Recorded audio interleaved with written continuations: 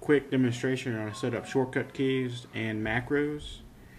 Alt T, hit P twice, hit enter, go down to file locations, macros, and check where your folder is. I'm now opening that folder, make sure my macros are in there.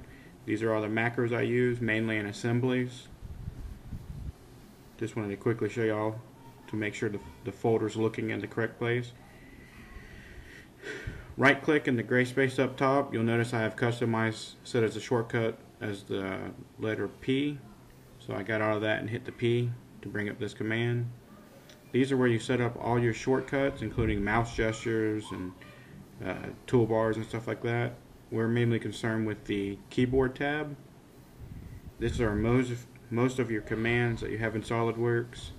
If, uh, if you can find it on here, you can add any key to it. You can override keys.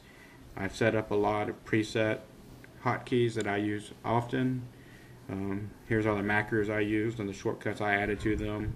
That way I can uh, quickly assemble assemblies.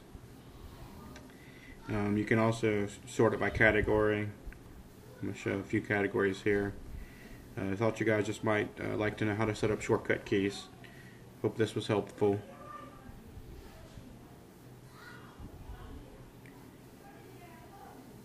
As you can see, I've got K as center line, C as circle.